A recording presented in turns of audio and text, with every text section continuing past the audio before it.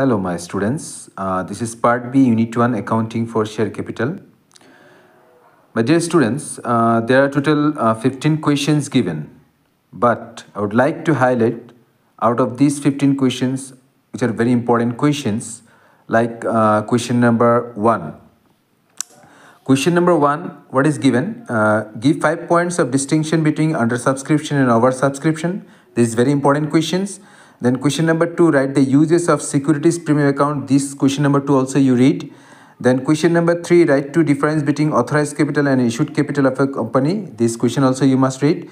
Then question number four is very, very important questions, students. Like number A, minimum subscription. Number B, reserve capital, calls in arrear, calls in advance, uh, under uh, subscription, pro rata allotment of shares. You must read all these questions. Then question number 5 uh, what are the difference between a shareholder and a debenture holder? This also you must read.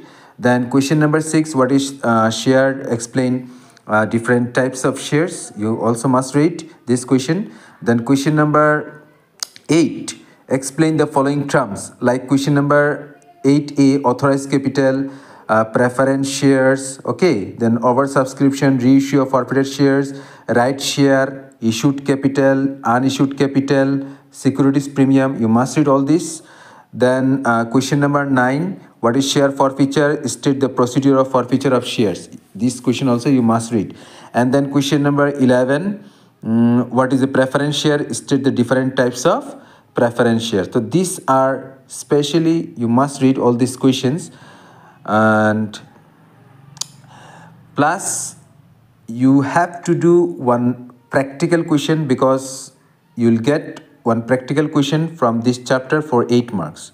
So you must practice uh, practical from these chapters. Okay. So okay then. Uh, thank you for today.